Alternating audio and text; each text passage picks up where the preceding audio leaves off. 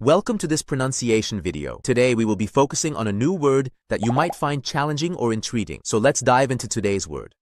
Erudizione, which means Deep, extensive knowledge or learning acquired by study, scholarly achievement.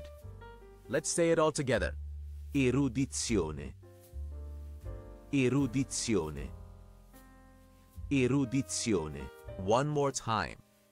Erudizione. Erudizione.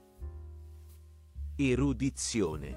Thank you for joining us on this adventure in pronunciation. Remember, language is a journey, not a destination. Keep exploring, experimenting, and expanding your linguistic horizons. We'll see you next time.